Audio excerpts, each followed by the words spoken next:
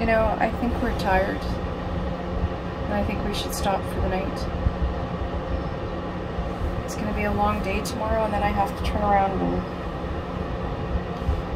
start working again, so I need a little bit of a break tonight. Get a good night's sleep. Yeah. Just worried that we're running out of time here.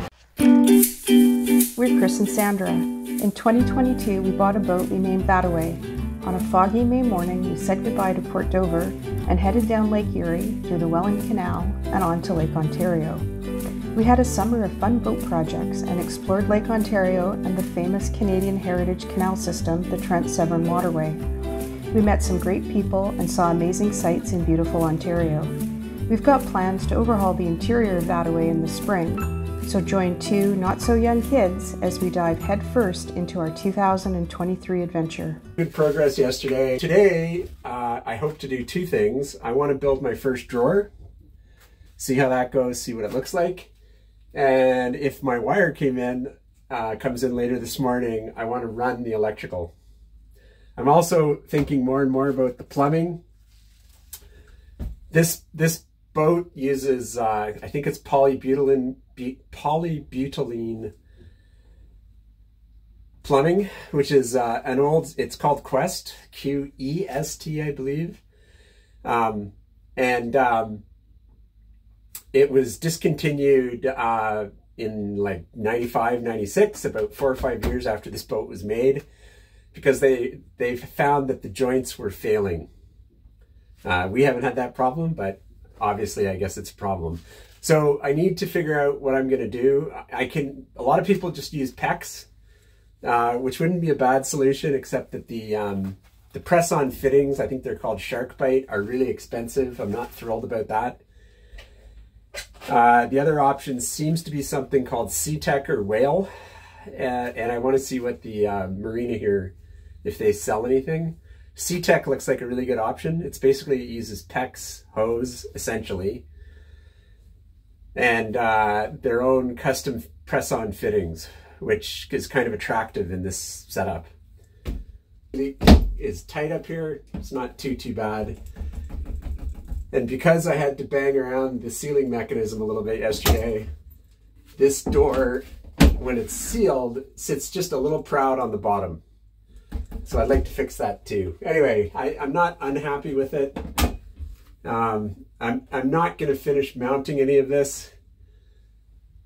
Uh, right now I've got it tacked in with a screw and I've got it sitting on this. But until we get this um, countertop done, I don't want to finish this. So I'll run my electrical and, and do other things. But I'll, the actual finishing is going to wait now until we get this countertop in place, which is waiting on our laminate. I bought one set of slides, uh, and these are soft close slides, and um, they're a bit more expensive, but I think they're going to be worth it because the soft close really essentially um, acts like a lock. The drawer stays pretty closed unless you tug on it. So um, we'll see what we think about that, and then we'll have to decide whether or not we want to install an actual latching mechanism as well. Used half inch plywood for this entire project. Um, normally I'd use three quarter inch and, and normally you'd build each section independently. But as you can see here, I built one, one, one uh, unit with single plywood walls. The reason for this is, is, is simply weight right? I'm trying not to introduce a lot of weight on the boat. So I didn't go to three quarter inch, which which would have been a lot easier to work with. So far, I'm, I'm pretty, I'm happy with it. The more I glue and fasten this down, um, the structurally more rigid it becomes. And obviously once this countertop is glued into place and screwed, uh, it's gonna be a very solid unit. So uh, the drawers, again, some people use half inch for drawers. Some people use three quarter inch. I'm going to try half inch uh, drawers with a quarter inch base and European style cabinetry, which is a new one for me. I've only done face, uh, front faced cabinetry, cabinetry in the past. Um, and uh, I'm going to use, I'm, I'm trying for inset drawers. So hopefully it all works. A lot of firsts here. Let's get started.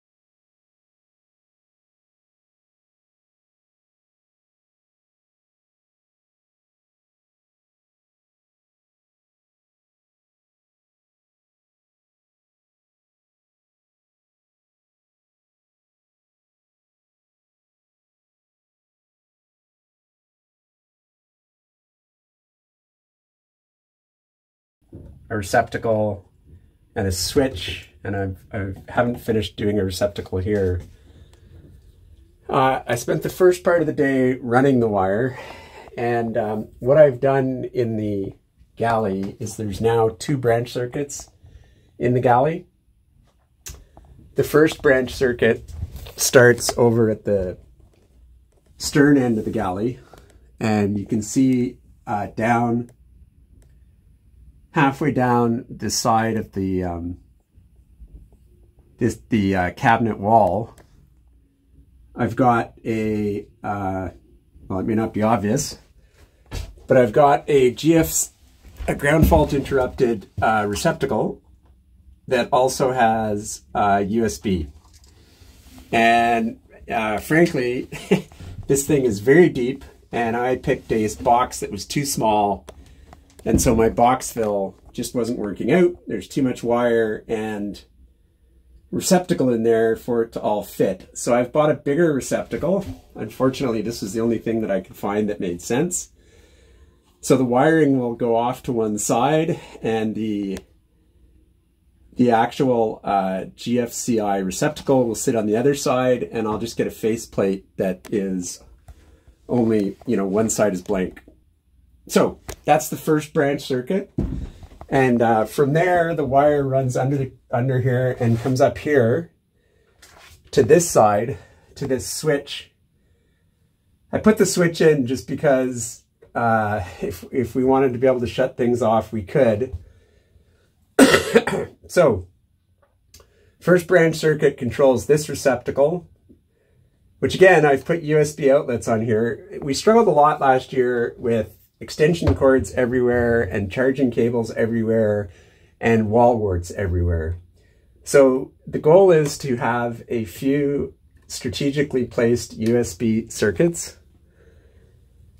so that we're not uh, struggling the way we did last year. From there, this circuit comes down, goes under here to the stove area, and you can you might be able to see there, there's two receptacles down here. So that first branch circuit finishes off on the bottom receptacle where there'll be a plug-in for either the stovetop or the um, it's a little oven that we're installing. The second branch circuit starts at the top, and there, there again, there's a GFCI ground fault interrupted um, outlet, and it runs from there uh, up to the second receptacle on the left at uh, at waist height. So in other words, the two main appliances will be on two separate branch circuits, and the two additional outlets will also be on separate circuits. So hopefully we avoid tripping, um, and hopefully it'll work. I guess we'll see how it goes. the uh, last thing that I did is I ran a wire from the um, bottom outlet so that it's on the first branch circuit. It goes up here, disappears in here, and comes out in this drawer. And you can see just the bare wire there. And I'm going to put another uh, outlet there. And the idea is uh, we'll, to have a um, a drawer for charging things. So we'll we'll probably vent it, put a fan in, and then when we're charging things, they just go in the drawer and out of the way, and hopefully it's clean. This is the old map drawer. And frankly, we don't use maps as much as we used to. So that seems like a good repurposing of it. Anyway, I'm going to get back to it. But that's generally what's been going on.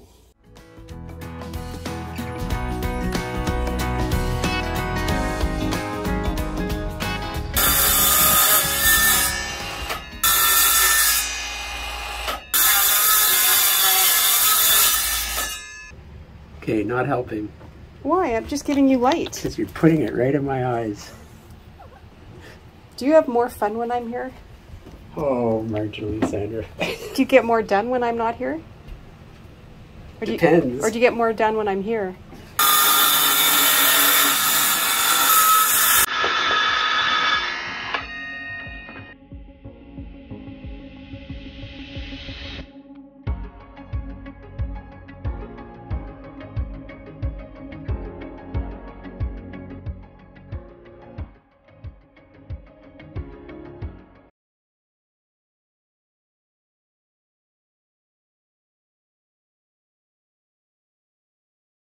So we're using ball bearing drawer slides and um, they're stainless steel, obviously, because of the environmental concerns, rust. And these are soft closed drawer slides.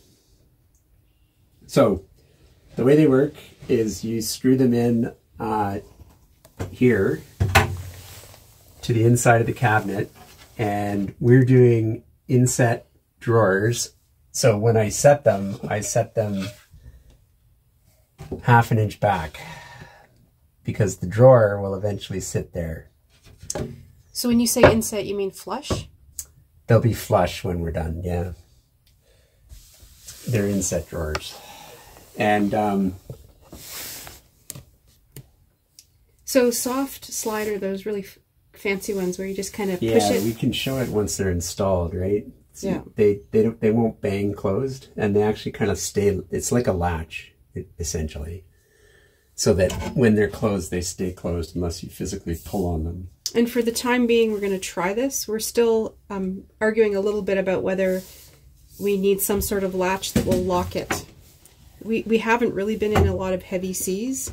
So Chris seems to think that maybe it'll be fine, but there's no point in investing another a couple hundred dollars on fancy locks, latches, until we know if this is going to work. I think the very first time we're in rougher weather than we've had, we'll know.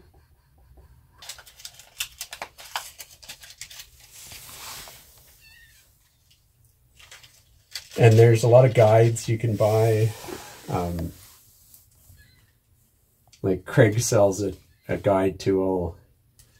Everybody talks about how to get them lined up. What does the guide tool do? It, it tells you where to drill your holes. You just attach it to your cabinet and just start drilling holes. But oh. I watched a video, I'm not even sure who it was, it was a woman, and she said, yeah, this is really easy. All I do is exactly what I've done here. And I'll show you what she does with the actual drawer. If anyone else um, recognizes this and who knows who the YouTube video person was, let us know. Is this going to be magic?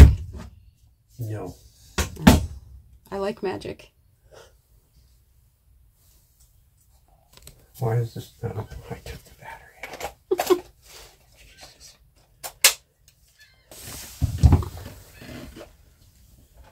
Took me a while to figure out what they were talking about, but everybody goes, the slides are adjustable in four dimensions.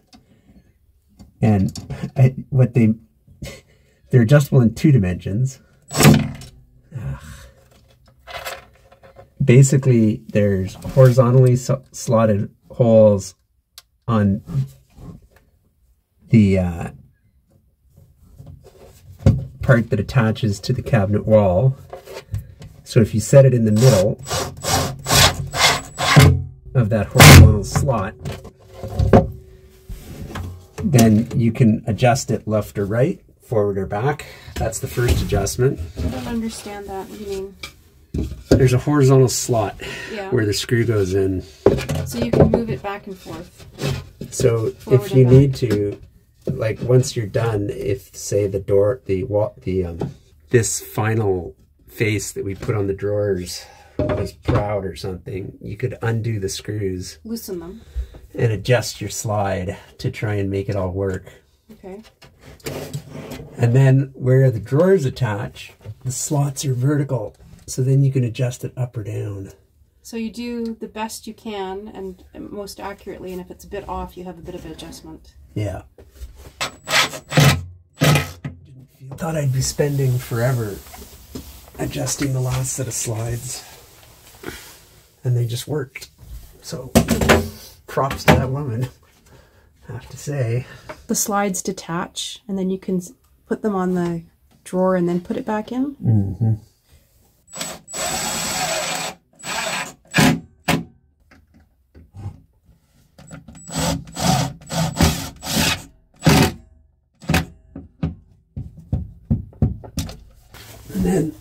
you do is take a quarter inch spacer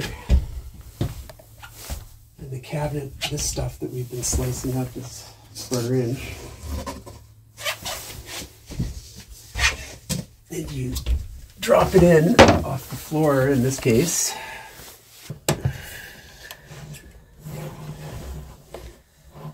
And then you take the drawer. Set it on top of your shim.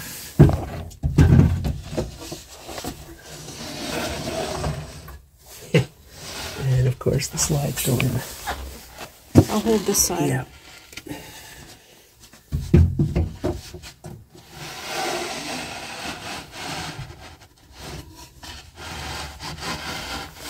Oh, you want this to go in with it? Yeah, flush to the front. Stop. I was holding it out because I thought you wanted that.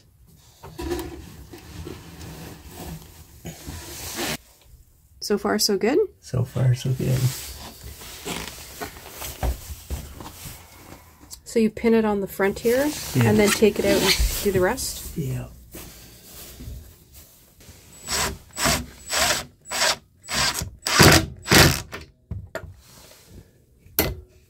Right now, you should be able to see the vertical slot.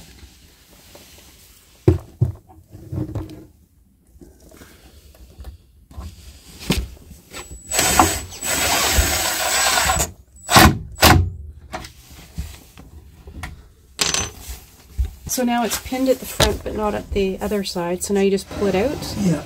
And pin it again. uh, on another vertical one. Yeah.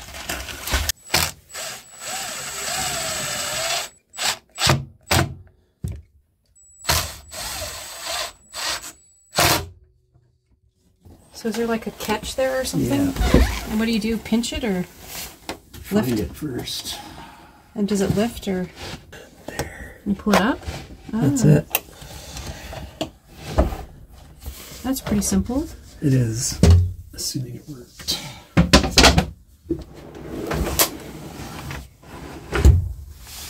Uh, that didn't work.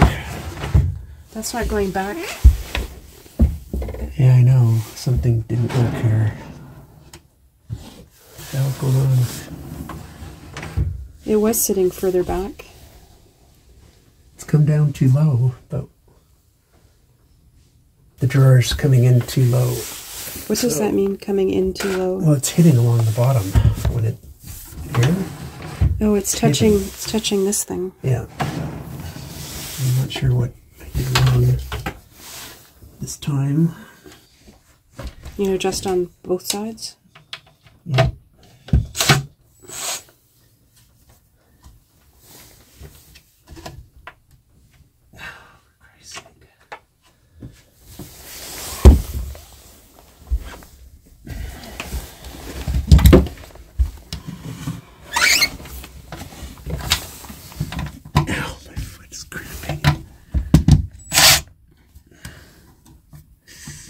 See you adjust it up because you've got the space. Do you want me to put it in? Oh my goodness. Yeah, go ahead, tighten it. Is it in reverse right now? Yes. I don't want to overdo it. Oh, is that worse. because the back is diving? Yeah, now the back's hitting. I don't know what went wrong here. But something sure did. I stuck a spacer in there, which probably had something to do with it. Oh, you kept it up.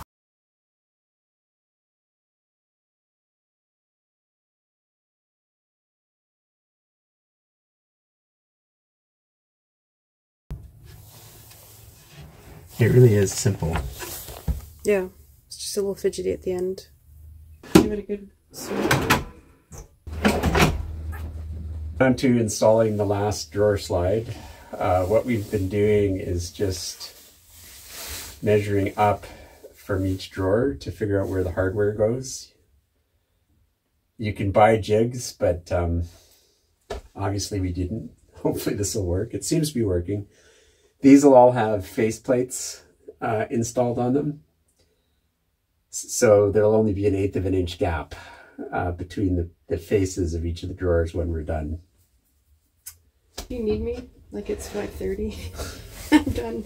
I'm already somewhere with a drink. Two instead of three. Yeah, that's really nice. it's so cold, it's going to be a hot drink. I've never had a buttered rum.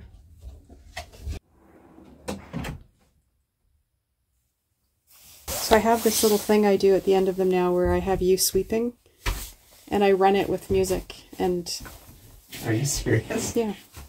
So it's the next day and we're just less than a week until we splash.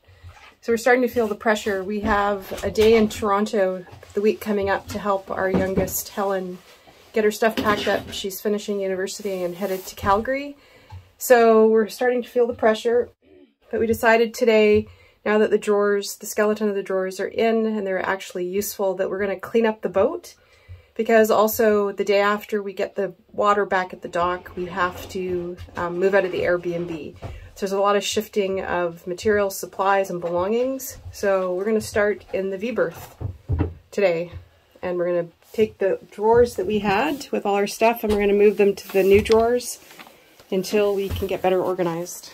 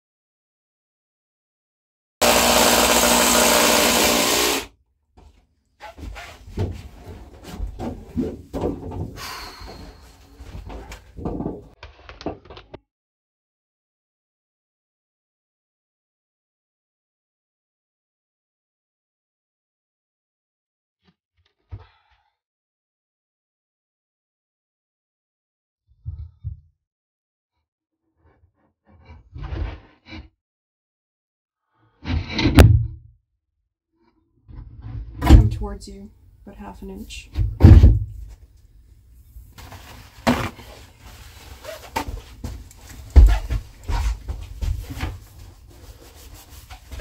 You're gonna sand it anyway. I know, I just want to get it off. The... And we're gonna epoxy this. I think Sandra might have mentioned yesterday, I'll mention it again. Uh, we've been waiting for our laminate and um, the online delivery tracking said that it was in transit for the last week. And it turns out it was delivered back on the 18th, like 10 days ago. And it's been sitting in the marina office, had been sitting in the marina office that whole time. So we went and got it yesterday, and yes, yesterday evening was a bit of a panic because we uh, prepped the countertop. So we, we uh, used the countertop as a template. We cut the uh, laminate with about a two inch overhang along these edges so that we could trim it and if we make any mistakes. But we matched it in the far front corner, the bow, the bow edge and the, um, the port edge. And then we epoxied the sink in with a, a two-part epoxy.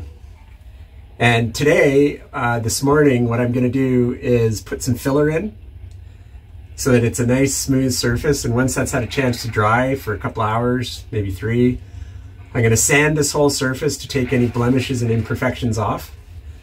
And if I have any holes that I need to fill, I'm gonna fill them. And then we're just gonna put the laminate in place and wait until after the launch uh, because we need to get it warm in here to use the um, contact cement that's used between the plywood surface and the laminate to, to put the laminate in place.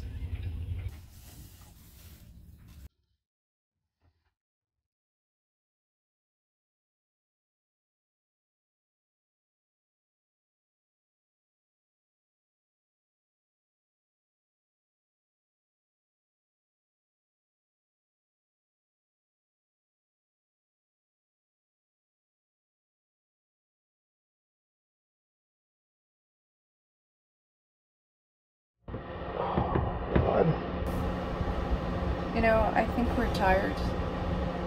And I think we should stop for the night. It's gonna be a long day tomorrow and then I have to turn around and start working again, so I need a little bit of a break tonight. Get a good night's sleep. Yeah. Just worried that we're having